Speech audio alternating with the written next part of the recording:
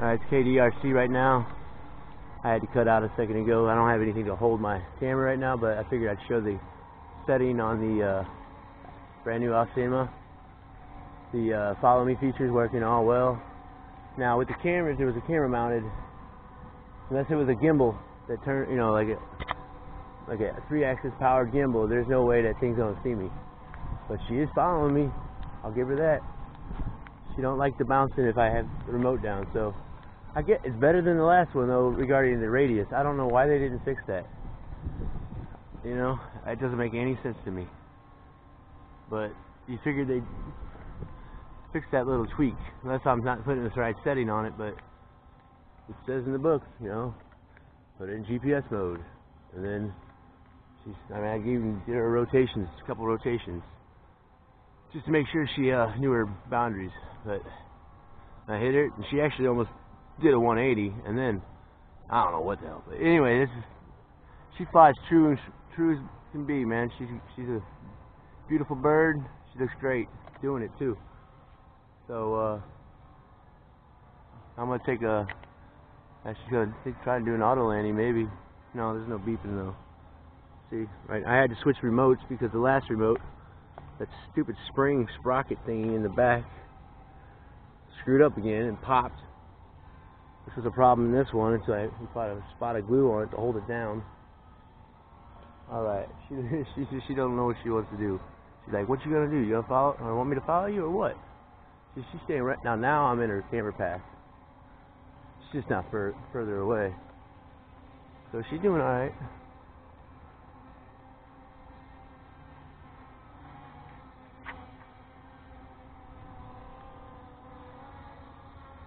Now, if you see a rock and roll a little bit, it's because I'm setting down the remote. I'm trying to do two things at once. Be careful, because I'm in a neighborhood, my neighborhood, and also film, which I can't even see the damn camera screen. I, you, I hope you see her. I mean, I, I don't know why you wouldn't. Kind of aiming towards that direction. Oh, yeah, she's following the remote. Now that's wind. Alright, I'm gonna see if I can't turn this off right quick. The uh, the uh, what you call it setting. That should be off. Yeah. All right. She's done with the uh, follow crap. Now I would attempt circle, but obviously not in here. I don't want to. I don't want to lose this baby. I just got it. Just a moment, please. Sorry for the camera again. Twist it up over here. Ugh. Trying to see what she's gonna do when it comes down to uh, her. I mean, she lands great and she takes off great as long as you calibrate her correctly and you give her about 30 seconds to, to a minute. And again, I apologize for the 50th time in a row for uh, crappy ass uh, camera work here. It originally started on her, but uh, she seemed to be struggling a little bit. I mean, I, I honestly don't think the, mo the motors are as powerful as they once were. But that's just one man's opinion, of course. Because the old Aosenma would be able to rock it out, no problem. I mean, she can handle some weight. Maybe I'm just doing it wrong. I don't know. Probably am, but she was flying, having a hard time. And I know it was a little windy, but I've seen this thing fly through almost hurricane winds. And that extra sensor on the bottom does do, it's noticeably different when it comes to landing and taking off.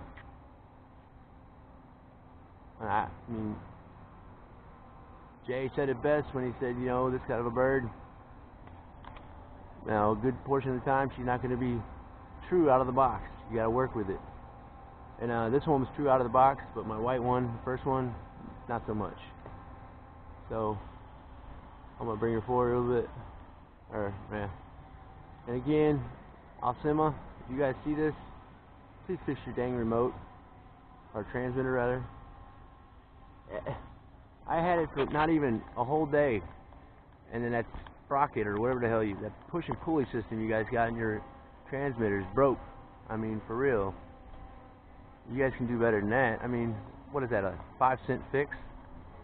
Spot of hot glue or something?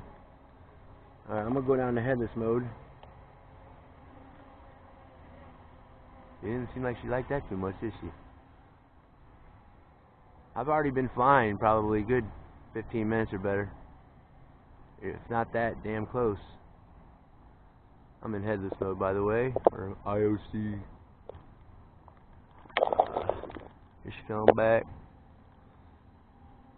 I guess I might as well let it go and see if she, uh, until she auto lands. But I'm gonna get her somewhere different, that's for sure, when it comes to that. Oh yeah, I wanted to try the return home feature. Um, let me take her out a little bit. Because I landed right over um, next to me here. Uh, uh, go up a little bit here. Bear with me, guys. I'm, I know I'm saying it for a thousand times over and over, but this camera work is not the best. I know. I just figured I'd get something better than nothing. All right, I'm gonna get it out of headless mode. Oops. Headless mode, going back to altitude mode. I'm in GPS still. Now I'm back to altitude mode and GPS mode. Now let's bring her to return home. So here we go. Here goes nothing. Uh, oh, she's landing way over there. No, she's not. Okay. I was like, wait a minute, why is she landing over there? She just went down a little bit. Probably fluctuation. See what she's gonna do. She should be laying right about around here. Uh, uh, slow down, baby. Ah, there's the bells and whistles now. I hope I can even see it right now. Oh, she's gonna land right where the remote's at, okay.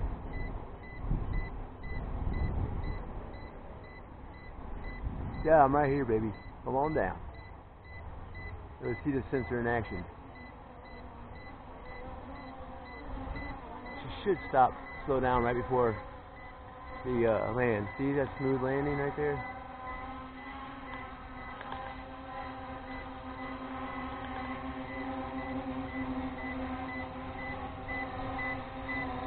Now, cross your fingers.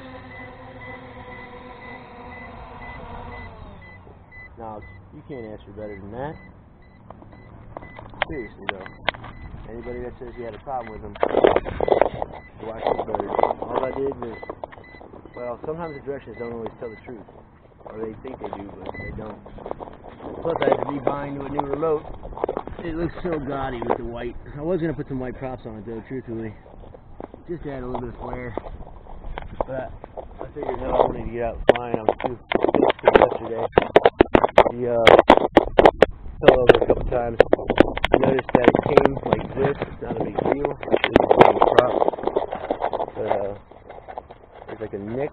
It wasn't a nick yesterday. It was a kind of a bend, but it was like almost like it was purposely done because it was like part of the molding. And so, I don't know. I, I figured maybe it's supposed to be there. I mean, I, I know better, but so anyway, um, I also got my bugs out again. I haven't had this one, my baby, baby Betty Blue out here in a while. It's been a minute since I've had her out. Been up with bigger and better things, I, I was thinking, but really, you can't go wrong with, you know, the, the uh, what do you call that, the, the Drocon, fucking, uh, excuse my language, the Drocon Bugs 3. And so, uh, I don't know if you guys are looking for a steady, good bird. I would suggest go with that one, the Bugs 3, especially a Drocon. You ask me why, what, what's a Drocon? That's not even the right remote. there it is. That's that's the difference. It's uh, made by a company. that puts them together. I mean, many drones are made by different companies after they come out, repurposed, kind of so to speak. And uh, Drocon hits the mark every time. It seems as if. I mean, I've only had one, but going by the reviews and seeing people fly other products that they've done, I mean, it's the same price from what I gather. I mean, I didn't pay just over a hundred for that, and that was months ago. You can get a uh, Bugs Three for under a hundred bucks easily. And um, yeah, that's for the six. But uh, oh, I didn't bring my transmitter out regarding the black uh, Aosenma. But if uh, yeah, again, Aosenma. Oh, hi, Missy.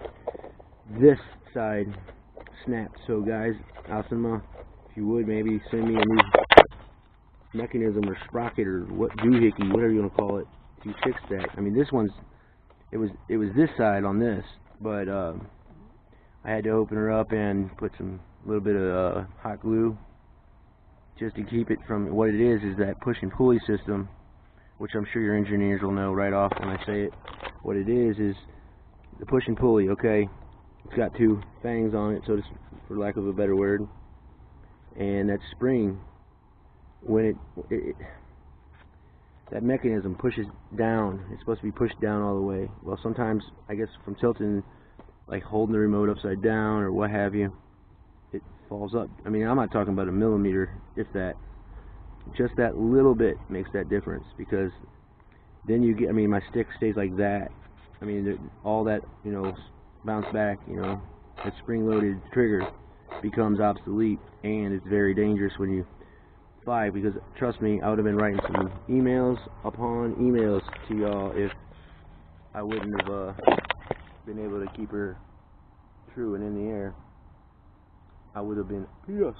So anyway, I don't want to keep hounding about that.